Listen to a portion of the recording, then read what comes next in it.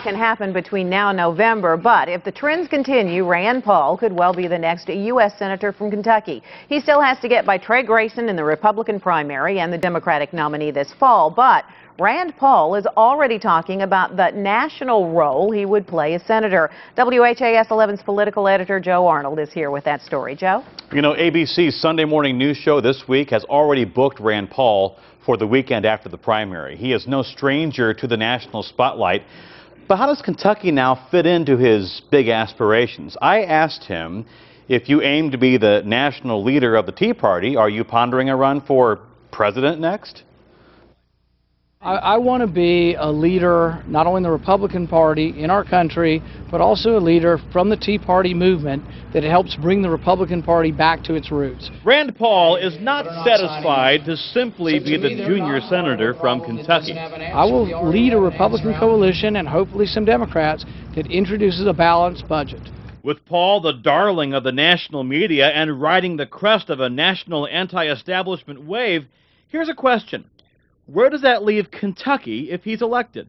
Will you still fight for Kentucky in Congress and the Senate if you actually are fighting this national campaign? Right. Absolutely. I think everything I talk about is for those of us in Kentucky. I say let's try to leave more money in Kentucky. Primary opponent Trey Grayson says yes, Washington is broken. But Republicans, he says, should ask themselves two questions before they vote. Who's in the best position to fix Washington, and the second is who's going to fix it the right way. Grayson argues that Paul's campaign success is due primarily to his father, libertarian icon Ron Paul's out-of-state donor base and media connections. What good, Grayson argues, is Paul's outsider status if he's so far outside the loop that once in office, he's irrelevant? I've got a track record of being different and that's that's what those voters who are looking for an outsider or looking for something different to shake up Washington. I'm going to be the much better in much better position to do all that. But I also have the relationships with the folks who are there, so we can get things done. I'm not going up there to be part of the system. I'm going up there to fix a broken system before it's too late. But if you can't do that, if the system is the way that it is, and you can't have that effect if, there. Eh, I'm, I'm saying, but in the eh, interim, then, the what system, are you willing to give up for Kentucky? If the, the if the system remains as it is, and we have to acknowledge that before we get started in the election, before I win anything, that the system will not change, then I wouldn't run for office. Well, the latest WHAS 11 Courier Journal Bluegrass poll has Paul up by 16 points. And tonight I wanted to put into context part of my interview about that poll with Trey Grayson on Wednesday. I talked to him inside his campaign RV during that torrential thunderstorm and watched now as lightning struck right when I told him his poll numbers.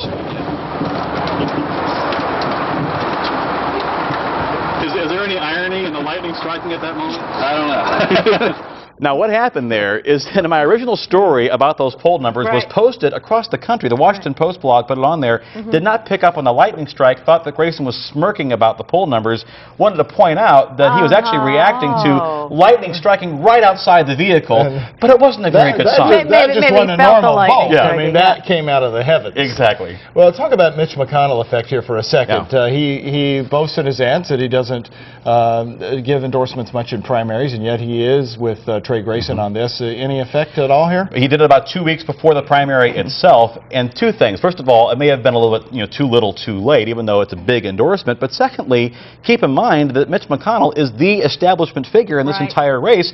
This appears to be an anti-establishment year it might not be exactly the kind of name you need. It Trey, however, but Trey Grayson needs to stir up the base that does support Mitch McConnell. It probably is the best thing that he can do among his particular constituents. Mm -hmm. It's a very, very interesting race. No question. The nation, nation is finding out. That's and right, right. now, uh, Joe is blogging about the U.S. Senate race on the political blog at WHAS11.com.